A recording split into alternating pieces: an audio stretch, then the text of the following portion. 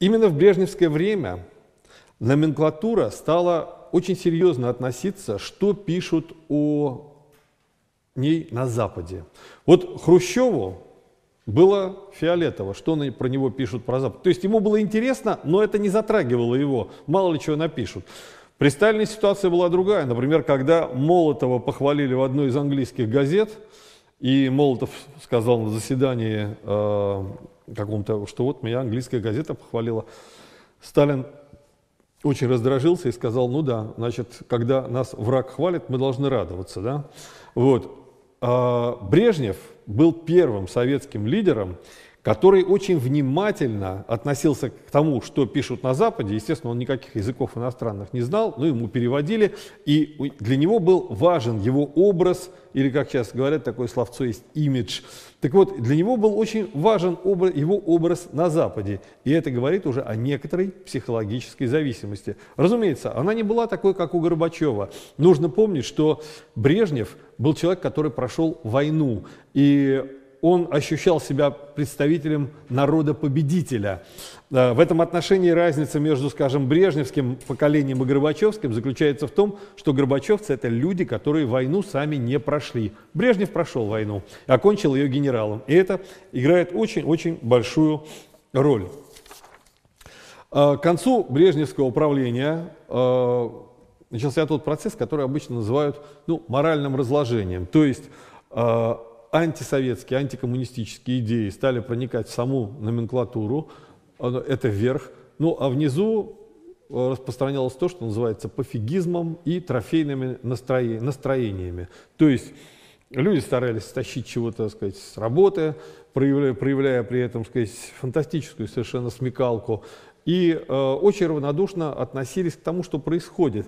Э, я вам очень рекомендую с точки зрения такой социологической посмотреть старый фильм 70-х годов Афоня. Возможно, кто-то смотрел. Афоня. Это фильм, который очень хорошо показывает, что происходило с общественной моралью. Там главную роль играет актер Куравлев. Вот. Вообще я очень рекомендую смотреть советские фильмы того времени, потому что при том, что была цензура, что-то было приглажено, но тем не менее, если систематически отсмотреть энное количество советских фильмов, социальная ситуация становится абсолютно ясной. Значит, дальше, что у нас еще по вот этим э, вещам. Ну, чем закончил СССР, мы об этом будем говорить позже. Периодизацию мы с вами записали. Значит, биография Брежнева понятна. Расклад сил в советском руководстве. Когда Хрущева отстранили от власти, большая часть людей полагала, что Брежнев – это человек на год, на два. Он серый, он темная лошадка, и он временный. Предполагалось, что будет более сильный лидер.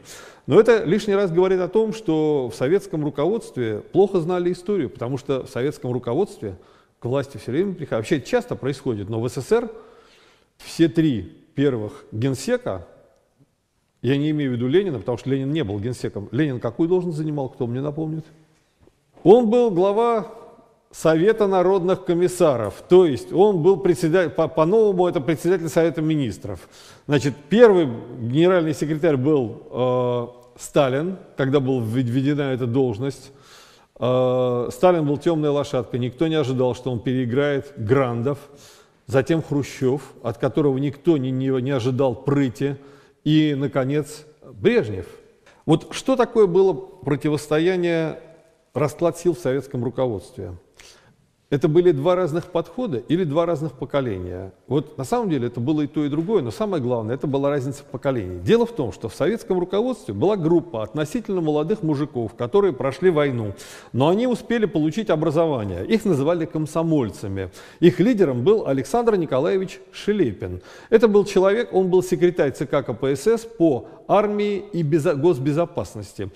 И это были ближайшие его окружения, например, семичастный э, председатель КГБ, тоже с комсом, человек с комсомольским прошлым.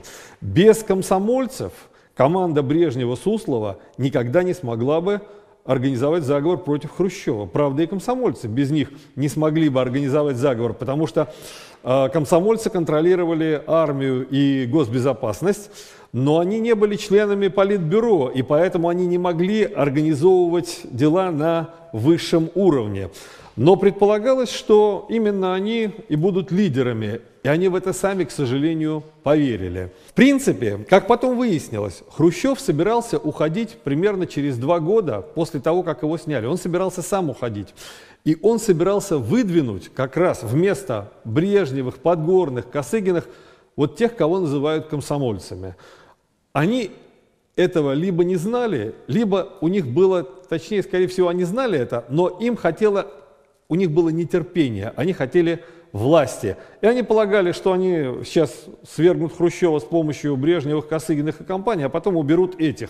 Но эти, Брежневы и компания, и Суслов, они были опытными игроками, и они комсомольцев переиграли. Поэтому комсомольцам нужно было поддержать Хрущева, сдать эту всю команду, а потом через два года либо Хрущев сам ушел бы, либо они его убрали. И история страны пошла бы совершенно по-другому. Но нетерпение этих людей сыграло злую шутку с, э, и со с ними, и со страной. В 1967 году, с 1967 года команда Брежнева начинает зачищать комсомольцев. Первый, одним из первых, кого отправили, это Егорычев, первый секретарь Московского горкома э, КПСС. Ну, а затем э, пошли и остальные. К 70-му году практически все комсомольцы были зачищены.